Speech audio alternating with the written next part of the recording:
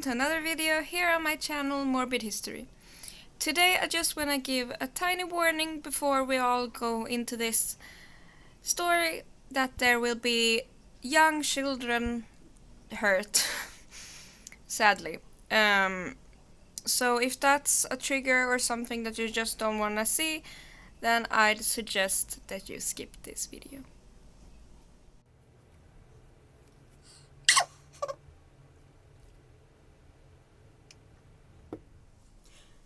The year was 1917.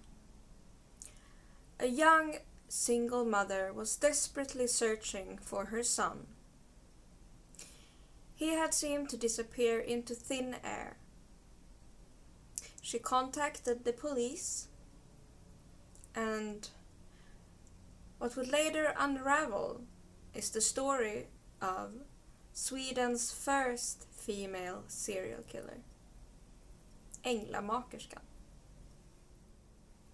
We need to back up the tape to our main character in this story, Hilda Nilsson. Who was she? Born in 1876, she didn't seem to have a very troubled childhood, but the troubles would come later on. What we know about her is that she got pregnant fairly young, and the man, the dad, left her alone so she was an unwed single mother in the early 1900s, which isn't the greatest position to be in. It was very frowned upon and socially unacceptable. We, we know that she lived uh, with a lady while her baby was young, and at some point they both got kicked out. This was during winter, so it was very cold outside. Both Hilda and her young, young daughter got sick, being homeless out in the southern parts of Sweden during winter, which sadly the little one did not survive. This took a toll on Hilda mentally, of.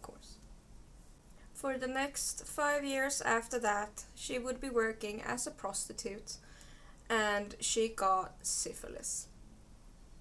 Times were indeed extremely rough for her.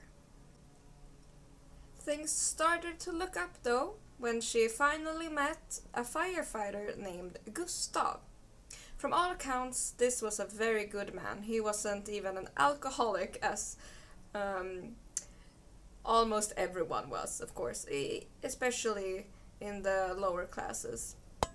Which he, he wasn't even, because he was a firefighter, so they had uh, good money there for a while until he hurt his eye and had to take a different job, which paid less. This put an economic strain, of course, on their little family, which now actually even uh, included a foster child, a little boy. They never had any biological children, which could of course come from the hard times she lived during those five years of prostitution and syphilis. They lived in a little tiny place called Bruksgatan 5. And here is where things get very, very dark.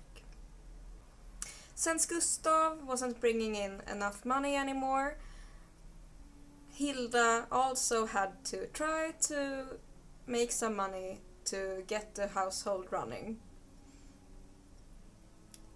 And one day she looked in the newspapers and realized that there were many, many single moms, poor single moms, that needed to place their children in foster care.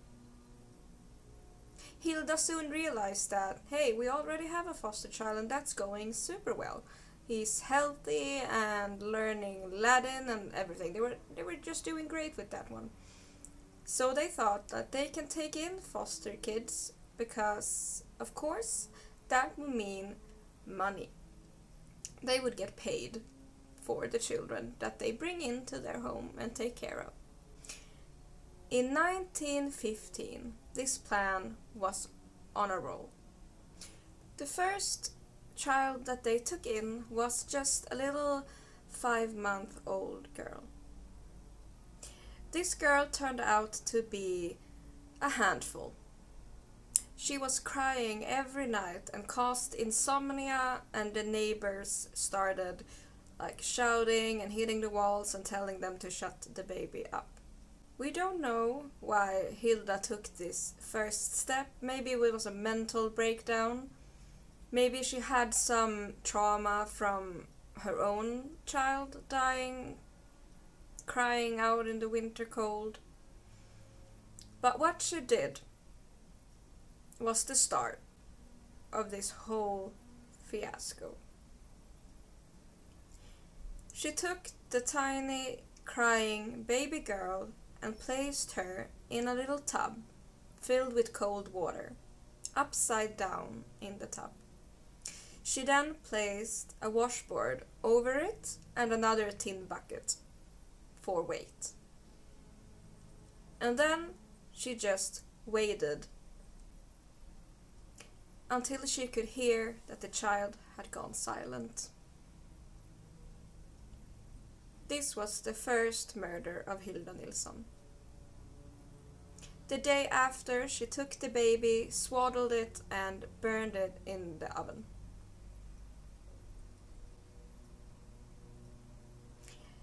This kind of modus operandi would continue for two more years. The reason why people think that she got away with it for so long was that she actually took very good care of her home and her clothing and everything was very clean and neat. Most women who took care of foster children were so poor and dirty that it was just like such an unusual sight to see Hilda, who looked so proper and that already had this young foster child at home that seemed very healthy and good natured. No one actually believed that she would be capable of doing these things. But she did. Sometimes the children didn't even survive the first hour in the home. She would actually kill seven more babies in this way and kept the money saved up in a little drawer. Her husband Gustav didn't even seem to understand what was happening. Every time a child came and went, she told him that a rich family had come by and picked them up to be their new foster parents. She also sent the families that had placed their children with her letters where she wrote about uh, the development of the kids and all these things just so she could try and get more money from them, even though they were already dead by this point. I read that at some point one of the mothers came back because they regretted it and wanted their child back. At that instance, Hilda just lied and said that the child had sadly passed away by natural causes. I think she was feeling pretty much invincible. But that was soon to come to an end. A young mother called Blenda came to Hilda with her son Gunnar. Blenda was of course very poor and had to work, so she couldn't be at home to take care of Gunnar. But she by no means did didn't love him.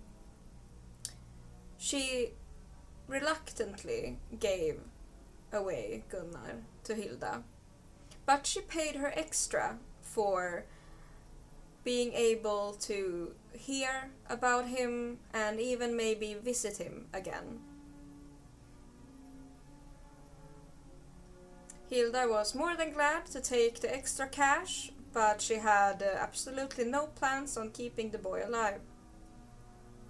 Instead, she lied and said that her sister, somewhere up in northern parts of Sweden, had decided to take care of Gunnar. Just because she knew that Blenda was way too poor to go there and visit him. and Hilda thought that that would be the end of it. Blenda, though, was a headstrong woman. She tried contacting the little town up in northern Sweden to find an address to the sister so she could get a hold of Gunnar and uh, find out what he how he was doing.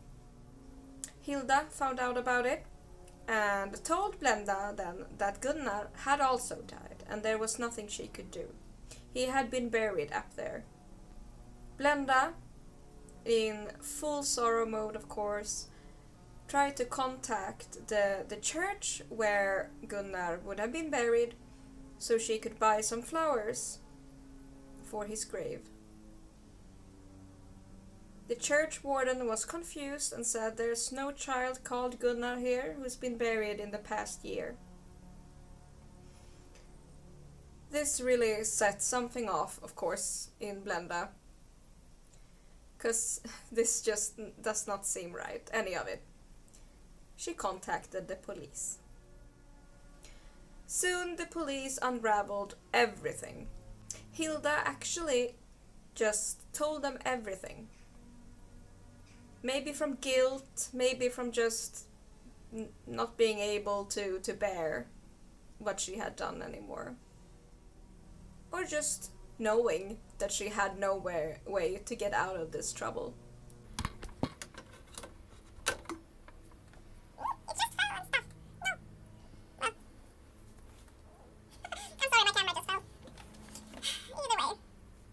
Either way, Was sentenced to death and uh, placed in Landskrona prison. The information would not come to her before they found her hanged in 1917 in her prison cell in Landskrona. So I was actually debating if I wanted to do this true crime video because I have a hard time with children being hurt um, but I thought that it's it's one of the biggest like true crime cases in Sweden, so it, it fits here and it's an interesting one too.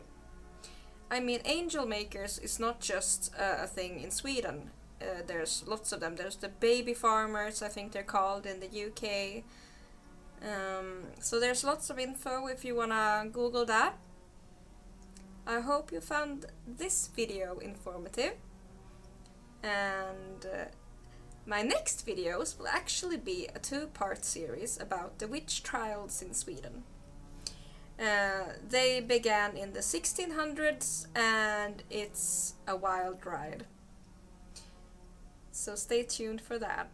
Please just uh, like, comment, subscribe, do all that. It always makes me so happy and thank you for being here. See you next time. Also, of course, because I almost forgot, but cheers to my patrons. You're, you're, you're just like, ah, my besties. Cheers to Smiles the Cynic and cheers to Professor Rebel. Thank you so much for being patrons. You're the best. Extra kisses for you.